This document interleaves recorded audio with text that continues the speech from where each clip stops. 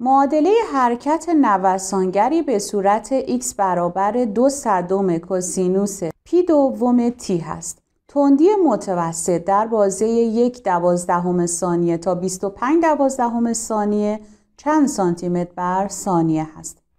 طبق معادله حرکت بسامد زاویه یعنی اومگا شده پی دوم بنابراین دوره تناوب که میشه دو پی روی اومگا به دست میاد چهار ثانیه در بازی زمانی تی یک تا تی دو مدت زمان شده دو ثانیه که به اندازه نصف دوره تناوب هست. تندی متوسط میشه مسافت تقسیم بر مدت زمان. خب مدت زمان به اندازه دو ثانیه شده و مسافتی که نوسانگر در مدت نصف دوره تناوب طی می‌کنه به اندازه دو برابر دامنه هست. یعنی دو ضرب در دو صدم.